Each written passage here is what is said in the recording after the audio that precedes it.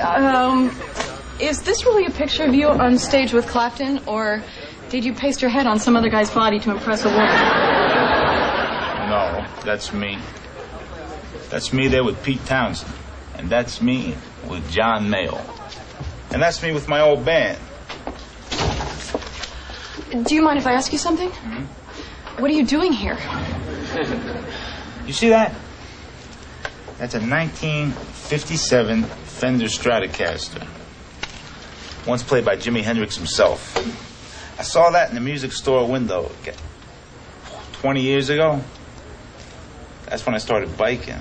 I was gonna make enough money so I can buy it. It was gonna make me a legend. Doesn't look like you play it very much. Yeah, well, isn't exactly the right venue for a legend, right? Besides, things have to be have to be right inside here, or else uh, the music just doesn't come. Well, things sure looked right in these pictures. It's a shame you don't play anymore. Yeah, I might give it another shot someday. You know, I'd like to save enough money to buy my own little club, place where I could go to play the good music. I keep it real simple, just a, a single chair on stage with a light that would hit me just right, but subtle, because that's the kind of guy I am. Hi, Ed Foley. Ed Foley's Courier. Tell your boss Johnny that Ed Foley of Ed Foley's Courier is here to see him. That voice, I know that voice. Johnny! Come here, you. Eddie, You old son of a gun, you. Eddie. Come here. Come on, come to Eddie. Come here. Come here. Come here. Here you are. Hey, do you guys know your boss here was my first bike messenger? So, quite a place you've got here, Johnny. You should see my place now. Carpets, leather, paintings of hunting scenes. You know how rich I am now, Johnny? I spent a hundred grand on a boat and I don't even use it. Oh, I know the feeling. I got a blender last year. I never even took it out of the box. You're poor, but you can still joke. It's something I don't understand. Johnny, let's cut to the chase. You try to be a businessman and you're licking dirt, buddy boy.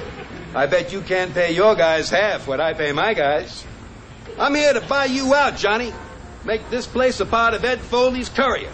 In fact, I even brought a check with me. How does this figure look to you? What are you kidding me? Boy, it's a lot of money, Eddie. You're darn right it is. You got clients I want. So just tell me we've got a deal and you can go back to playing your little songs or whatever you do, buddy boy. Eddie, you got yourself a deal. All right! Mr. Foley, the name's Leo. I'm here to assist you in any way possible. Can I just ask at this juncture, will I be getting boat privileges or is that... Get away from me! Who said anything about you guys? I don't need any more messengers. I have plenty of my own. I got a two o'clock. I'll see you later. No, oh, oh, wait, wait a minute, Eddie.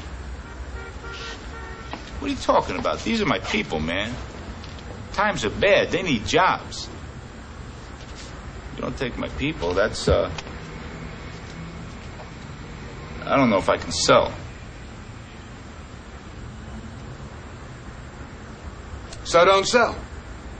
I was just trying to be nice because we go back. Truth is, I can put you out of business by undercutting your prices. I'm rich, remember? So there'll always be new clients. And they'll all come to me. Sutton Advertising just opened this week. They got to be worth 18 grand a year. Who do you think they call? Not you. Deal's off, Eddie, so why don't you just go down to the docks, get into your yacht, and sail off to the Isle of Bald Guys? All right, it was cheap, it was childish, but who here didn't enjoy it, huh?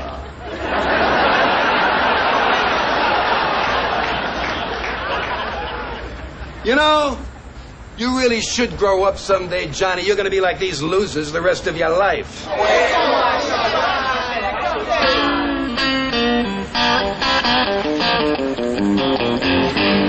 Now, what are you looking at?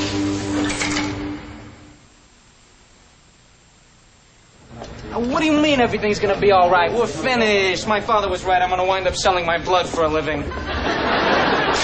Excuse me. I'm steeping, Barkley. Uh, I've done something, something you may want to get involved in. I have Sutton Advertising on the phone. I'm through steeping. 18,000 a year. I just called to chat. The receptionist's name is Kelly, has slight agoraphobia, some food issues. Interesting woman, needs some work. Boss's name is Peter. I have him on hold. Take the call, boss. This is our shot. Now, what's the use? Uh, Foley already said they have the account. Oh account. man, what have all the leaders gone? Give me this. Yeah, yo, Pete.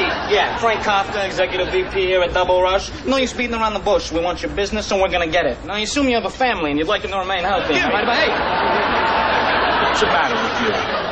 Yo, Pete. Pete. Yeah, how you doing? This is this is Johnny Verona. Listen, I'm gonna be completely straight with you because I got nothing to lose. We want your business and we deserve it. Because we think we're the best. All we want is a chance to take Foley on. Give us each a package. Give us each a package. Whoever makes the drop first gets your account. Come on, man. You, haven't you ever had to fight for something? No, that's, that's great. Great. All right, you heard the deal. Foley's best messenger versus ours. Winner takes all. It's up to me, isn't it, Mr. Verona? Hunter, you're the only man I know that can beat a fax machine. Look, I'm going to give you the radio. Hunter, you're going to keep in constant contact. Now, you leave from their place by five. Rush hour? Extremely dangerous? Superb! Hunter! My bike.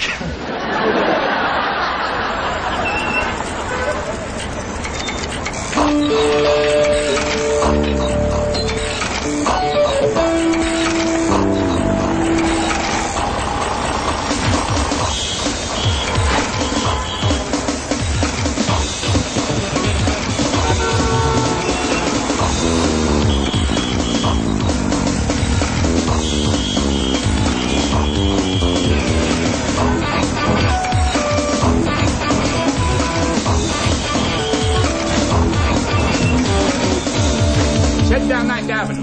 53rd Street is closed. Tell them to cut across town. Uh, avoid the Bloomingdale's area. They're having a Donna Karan sale. It's a zoo. Hunter. Hunter, avoid 59th Street. Get- Will you stop reading the want ads? You're making me nervous. hey, you think I could pass myself off as the head of dermatology at New York Hospital? Eighty-five thousand a year, man. You know, you are 20 years old. How did you become so cynical? I got my reasons. You try growing up the way I did. I want you to go to 55th Street. Go, go to 55th Street and then cut back. Yeah, that's very nice. You get me to open up and then you'll ignore me. What, what you picked now to bare your soul? Hey, can a feeling person control when these things happen, man?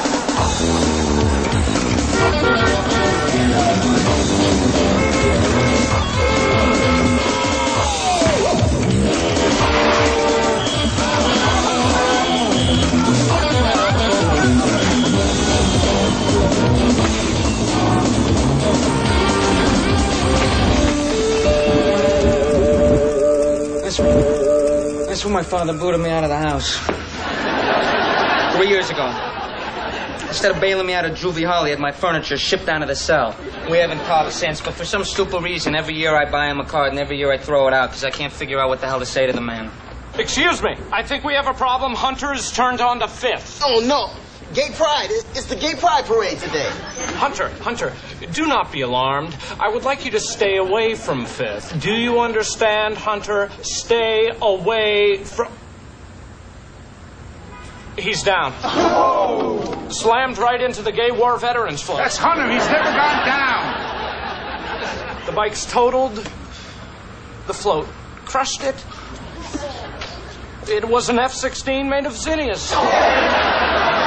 Hey, check it out. United's looking for pilots. Uncle Boss, send me. No, no, no, Marlon. We don't have enough time. Look, do we have anyone down there already? Well, the kid a block away.